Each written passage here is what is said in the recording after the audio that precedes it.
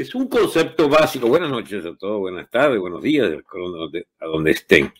Eh, comunidad de seres heterótrofos es una comunidad como la que viven muchos animales en la jungla, o sea, obligados a entredevorarse, se comen unos con otros. Y Gustavo Bueno llegó a la conclusión que Europa, que vive en guerra permanente por siglos y siglos, podía tener periodos de paz, pero son los periodos más breves que los periodos de guerra. Acuérdense que en Europa hubo guerra de 100 años, guerra de 30 años, guerra de 10, de 15, y siempre hay algún implicado. Por ejemplo, fíjense ustedes que la guerra de, Yugoslavia, que fue la última guerra europea, data de 90 y pico, ¿no? Este, 20 años después ya está la guerra de Ucrania allí. Este,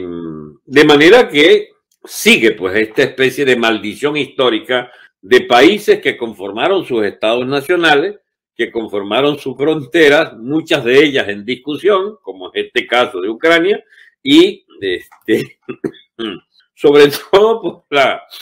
la secuela de las crisis del régimen económico y de los regímenes políticos que imperan, vuelve otra vez al escenario las contradicciones económicas flagrantes, las contradicciones sociales, este, los ajustes de cuentas internos que traspasan la frontera y vemos entonces en esta oportunidad, ¿qué es lo que explica, por ejemplo, que Hungría no quiera acompañar al resto de sus amigos de, de la OTAN en el bloqueo a Rusia y en el no comprar el gas ruso o no o querer salirse de la órbita del rublo eh, que ha propuesto Putin para los que le compren su gas. Bueno, es una opción, fíjense ustedes, muy distinta a la opción polaca, que está a fondo con el bloqueo al, gas ruso y a,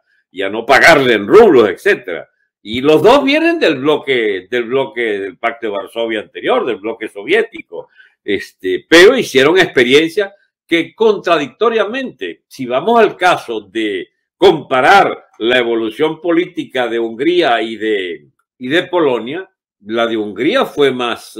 fue más brutal el año 56, con una invasión que dejó no sé cuántos miles de muertos y deportaciones, etcétera, y sin embargo, en aquella revolución de los consejos obreros de Budapest del año 56, donde las Fuerzas Armadas dirigidas por el general Palma Letter y la policía dirigida por Sandor Kopazzi se pasaron al lado de la insurrección y hubo una verdadera revolución nacional obrera en su dirección y en su conducción de buscar una profundización del socialismo por la vía de la democracia popular instaurada a partir de esa democracia de consejo. No le importó aquello al señor Khrushchev, que ya gobernaba después de Stalin Rusia, y los raspó a todos. Y bueno, y sufrió, habían constituido un gobierno, el gobierno de Imre Nagy, y liquidaron ese gobierno, liquidaron la insurrección, y se mamó Hungría 40 años más de comunismo este, sin chistar. Ahora, con la, el derrumbe soviético el derrumbe del Pacto de Varsovia, eh, una sucesión que no viene al caso desmenuzarla, llega al poder un líder nacionalista que ya va electo por tercera, por cuarta vez, el señor Orbán, de un partido, una coalición, llama el Fidesz, que gana las elecciones por dos tercios de los votos. Y ha rescatado para Hungría las más eh, eh, urgentes eh, definiciones de defender su natalidad, por ejemplo, que es una, una natalidad descendiente, quieren, está contra la inmigración ilegal desordenada que le quiere imponer Europa, está en contra de, de muchas de las políticas de la comunidad europea y ha venido levantando pues un programa de defensa nacionalista de su régimen y de su economía chocó con la Unión Europea, de la cual forma parte, y está chocando con la OTAN, de la cual forma parte, y prefiere entenderse con Putin, entenderse con Rusia en la actual circunstancia. Recuerden que Hungría, eh, una parte importante de la población de Ucrania, tiene ascendencia húngara también, y tienen, sin embargo, excelentes relaciones, tenían excelentes relaciones con Ucrania hasta que estalló con el gobierno de este señor Zelensky, apoyado por los batallones Azov de orientación neonazi, de, y que son una cosa que curiosamente se está tratando de, de ocultar o de disimular en momentos en que hay seria sospecha en que el teatro de, de esta posguerra sangrienta, como el caso de Buja, Buja, una, un pueblo allí donde aparecieron un centenar de cadáveres torturados en el piso Z, parece que es un montaje de esta gente, de los neonazis, que están acostumbrados, después de haber echado plomo 14, no, ¿de cuánto? Son desde 1914, ya son 6, 8 años que le han echado tiros a la, a la gente del Donbass, a las repúblicas llamadas independientes de Donetsk y Luhansk en el, en el este, que son rusos y que sin embargo, bueno, son, enfrentan cotidianamente a estos mismos batallones eh, defendidos por el señor Zelensky, que ayer incluso en una, no sé en qué comparecencia, ante no sé qué, ah, creo que fue sí, ante el Parlamento griego, se le ocurrió meter allí al lado de él a uno los dirigentes estos neonazis, o sea, ya perdió hasta la vergüenza, pues él dirá, bueno,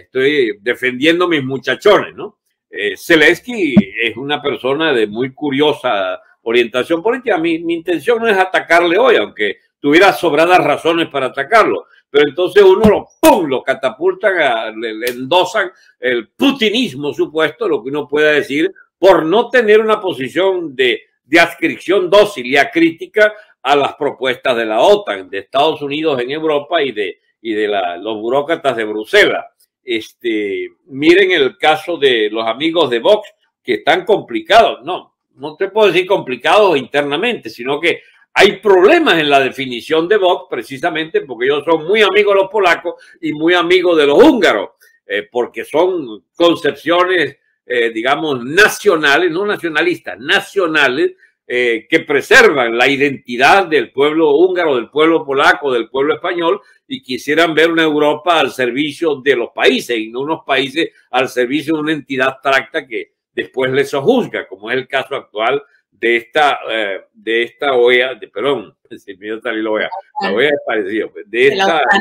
NATO, que de esta OTAN, que es, bueno, una especie de, de tiene una vocación como de, de departamento de relaciones europeas del señor Biden. Eso no es tan fácil como la gente cree. Abajo Putin y viva Ucrania y viva Zelensky. Ya va, hay historias de tragedias internacionales detrás de esta gente, detrás de esta figura. Putin es un líder de su país y el señor Zelensky resultó un líder de un país como Ucrania, que es un país que tiene pasivos enormes. Hay una enorme burocracia, eh, digamos, mafiosa en su burguesía. Hay, digamos, especie de pactos casi coloniales de, de, de Ucrania con países europeos y bien, y está siendo en este momento una víctima de sus propias contradicciones y de sus propias eh, consecuencias de su élite absolutamente disparatada. Eh, eso no va a terminar bien lo de Ucrania, ¿eh? ya está perdiendo un tercio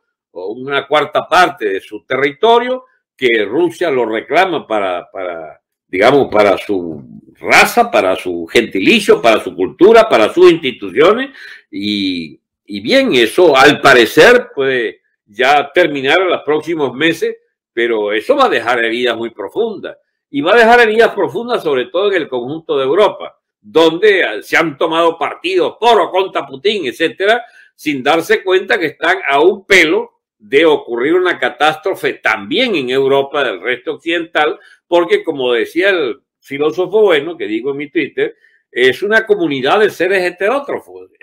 es una, una sociedad de, de, gente dispuesta a entredevorarse, como ya lo han demostrado en varias guerras, en particular las dos últimas guerras mundiales incitadas por Alemania. Y a Alemania la obligaron a desarmarse y la obligaron a quedarse quieta en primera durante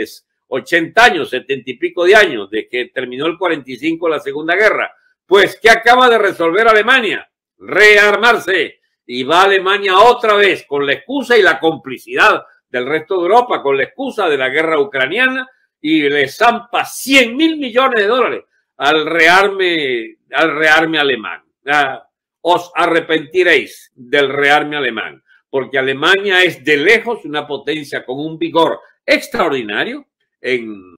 estos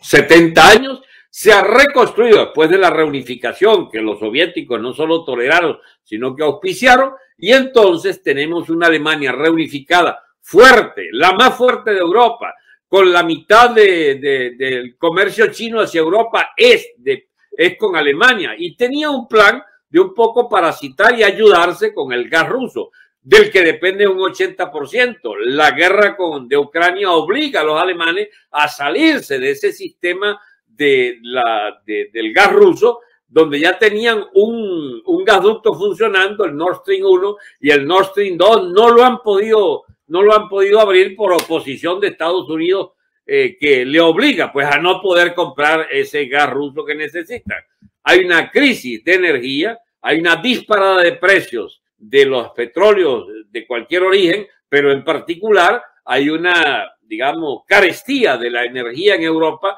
que ha llevado a multiplicar la, factura de la luz en España, por ejemplo, en el orden de, de 10 veces lo que pagaba la gente en las familias, ¿no? y en la propia industria. Aquello es un desastre en materia energética. Europa se acerca a una recesión económica muy fuerte, habiendo comenzado por una fuerte inflación que empieza a golpear. Ya España está en el 10% de inflación anual. Y eso, mis amigos, para una industria y para una economía de acuerdos tan laboriosamente logrados en base a, digamos, a datos ciertos de, de consumos y de importaciones, exportaciones, y si todo eso vuelve en pedazos por efecto de la guerra de, Ucrania, lo lógico es empezar de que este es un clima que puede llevar a una crisis mucho mayor de, de la comunidad europea e incluso, e incluso a un estallido de esa unidad europea. Si eso empieza en los próximos años, la gente podrá tener la fecha de inicio en la guerra